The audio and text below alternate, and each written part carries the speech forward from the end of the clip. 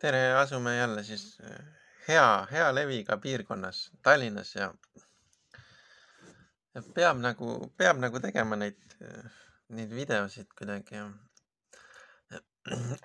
et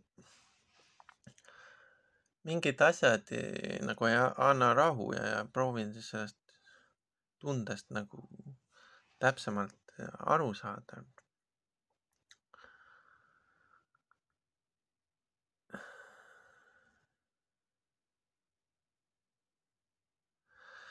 Et äh, hästi, hästi palju tegelikult maailm, ma ei tea, kas võib sellist juttu rääkida, aga maailm nagu liigub sellisesse piirkonda, kus nagu kõik on järjest rohkem sünkroonis ja ajaliinid on järjest rohkem nagu perfektsemas korras. eks ma ei ole nii suur joogija, ma näeks, et praegu puh, kõik on super täiuslik, on ju, et see on imeline jumala looming, vau. ma ei, ma ei näe sellist reaalsust iga päev. aga, aga ma tunnen ja tajun, et, et järjest rohkem me nagu lähme harmooniasse. ehk siis, kui sa, see on mingi, mingi keelatud eh, teema on sellega seotud, aga ma proovin ikkagi, ikkagi rääkida sellest.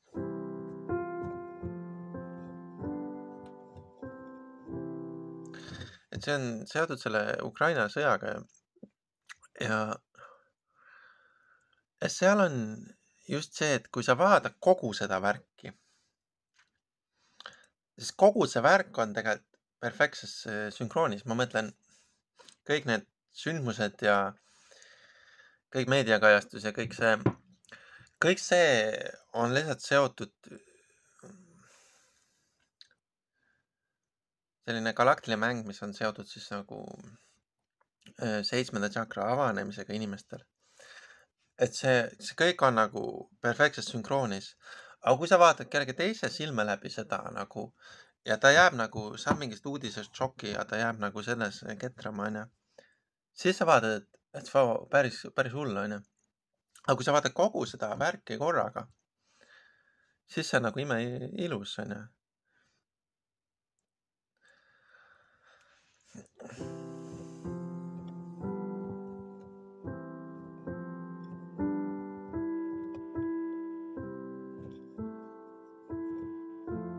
et eh, nagu ma ütlesin, ma ei ole nii perfektne joogi, et ma oleks nagu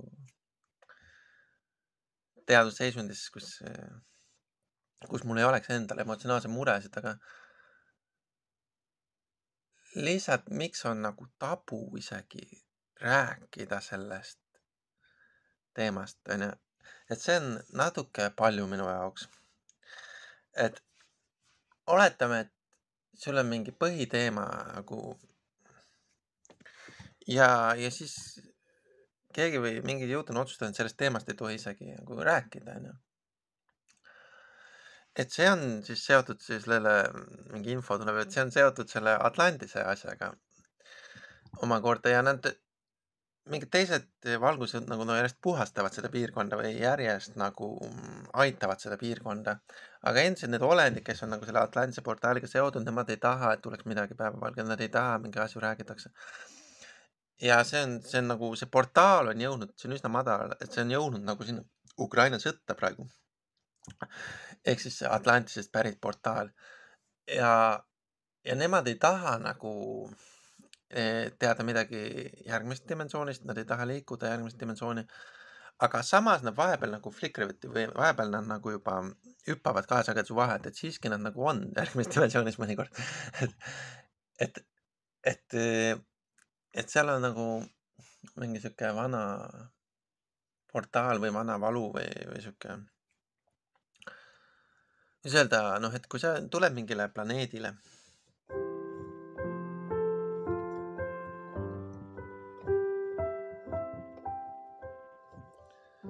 kui sa tuled mingile planeedile, siis sa kõigepealt lood, küsid oma südamest, saadad planeedis, planeedi südamele armastust. Ja, ja küsid äh, luba selle niimoodi ja kui sa, see planeet saadab sulle vastu armastust, siis sa võid tulla sinna planeedile.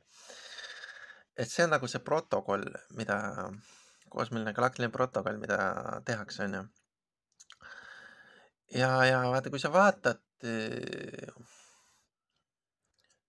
no olgem ausad, kui me vaatame, läheme uksest välja, vaatame kõiki neid autosid ja kõike seda maailma onju, kõik need autod, harvesterid, need rekad onju. Nemad ei ole teinud seda protokolli nagu. Nad ei ole esimese asjana nagu teinud seda protokolli onju, et kallis planeet onju, ma armastan sind onju, kas sa armastad mind ja, ja siis, siis kui sa saad mingi vastuarmastuse, et siis sa võid nagu üldse jätkata siin planeedil. et nemad on nagu siuksed, ma ei oska seda see on nagu mingi teine dimensioon ja seal on hästi palju rahvast. ja nemad on nagu siukses, need õigustavad sellist mehe töö tegemist, et see, see on õige, et mees teeb tööd, onju. aga seal puudub see armastus ja seal ja neid, sellist rahvast on hästi palju ja, ja selles mõttes see on nagu madalam sagedus, aga nad ise peavad ennast nagu hästi kõrgeks. no ütleme, et lõpeta ülikool on ju, söö liha, mine tööle. aga planeet armastab taimetoitlasi ja planeet armastab seda liikumist, on ju. seda ma olen ise tajunud. no ahimsa ehk siis see mitte kahju tegemise põhimõte, vägivallatuse põhimõte, mis on paljudes ida religioonides.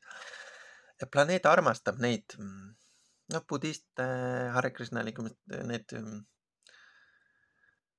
ma teisi neid väga ei tea tegelikult, kui aus olla, aga nagu seda, kes armastab planeeti ja suhtub loodusesse nagu armastusega, et ta, ta ei tapa, onju. ja planeet hakkab siis neid nagu vastu armastama ja tegelikult juhib ja aitab neid ja võib juhtuda isegi, et mingi lihasööja sagedus ei pääse enam läbi isegi. kui, kui, kui, kui on võimul nagu see, see taimetoitlase ühendus planeediga, siis ega need taimetoitlased planeet nagu saadab ka eri kohtadesse, nad aitaksid energiatöödega. ja, ja, ja neil on nagu see ühendus planeediga, on see armastav ja see on see ahimsa põhimõte kui sa vaatad joogasüsteeme, kui sa vaatad eh, budismi, kui sa vaatad Hare Krishna liikumist näiteks, neid on kindlasti veel, mingi džainism on, on ju olemas. kui sa vaatad nagu neid religioosseid põhimõtteid, siis need nagu saavutavad selle armastava ühenduse planeediga ja kogu aeg nagu elavad selles. ja planeet nagu tahab seda, planeet Maa ja nad tahavad nagu seda ühendust ja planeet nagu isegi valib neid inimesi nagu mm,, kuidas öelda ma ei, ma ei oska öelda, kas nagu juhtivatel kohtadel või ta annab nagu neile mingit hästi palju nagu mõjuvõimu tegelikult või, või hästi soosib neid kuidagi. ütleme, et sul on viiskümmend inimest kuskil puu all koos, onju, ja üks on taimetoitlane ja ülejäänud mitte, siis planeet nagu soosib seda taimetoitlast. Ja temal on nagu rohkem võimu, selles mõttes, et planeet nagu juhib läbi selle kõike. Ehk siis lihasööd on üsna nagu tähtsusetud karm tõde võib-olla, aga et nad on mõnes mõttes need, kes nagu tapavad siin planeedil ja ja ei ole ühest armastuse kaudu ühendust võtnud planeedi keskmisega, mis käib siis niimoodi, et armas planeet, ma armastan sind, et ja siis oodad, kas ta saadab sulle vastu armastust.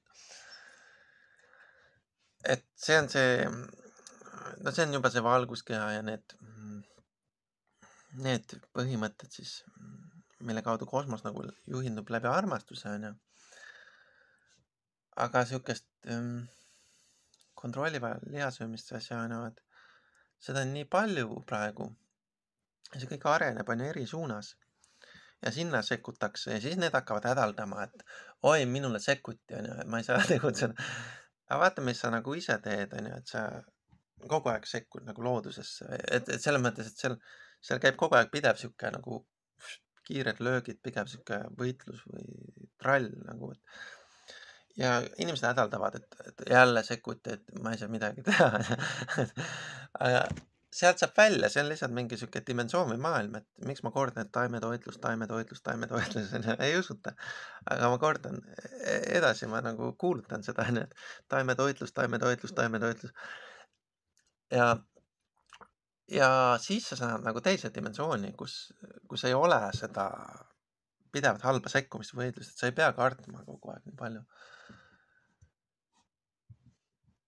kui sa tahad, noh, ma ei, ma ei saa öelda kõik religioonid, sest kristluses ei ole seda, aga hästi paljud tuntud religioonid, siis nagu, no kristlus on uus, onju, aga, aga hästi need tuntud religioonid nagu mingi budism või, või, või Hare Krishna onju. Hare Krishna on ka uus tegelikult. et, et need, nad on nagu tuntumad võib-olla kosmoses või, või ma ei oska öelda. Need nagu mm,, mis ma teen, mul läks see mõte läks kaduma.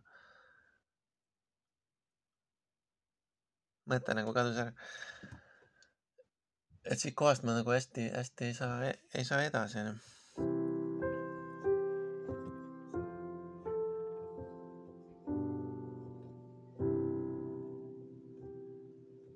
katsun meelde tuletada, mis ma tahtsin öelda.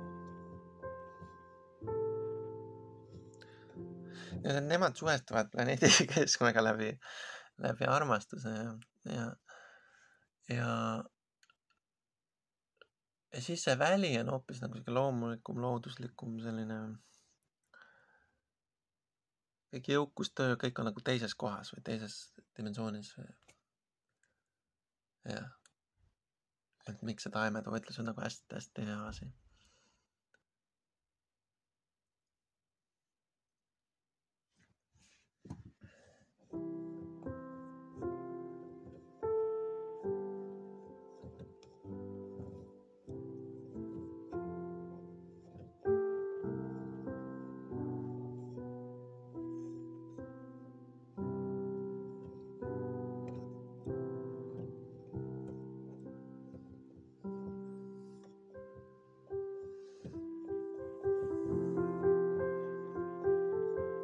Et see maailm on küll sünkroonis ja, ja kõik nagu saavad, saavad asju vastu vastavalt, vastavalt oma karmale, onju. ja